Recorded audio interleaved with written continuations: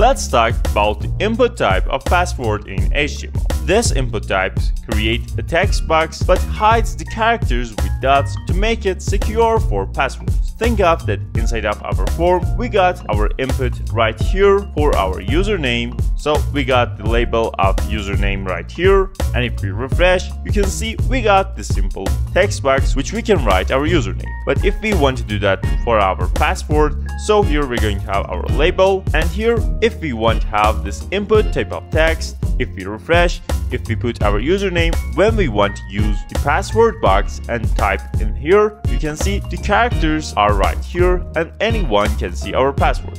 But if we change the type of this to the simple password and refresh, if we type the username, it's going to be clear, but when we're writing passwords, it's going to be replaced by the dots. So anytime you need users to type secret information like password, use the input type of password. Don't forget to like and subscribe to the channel to learn more about other input types.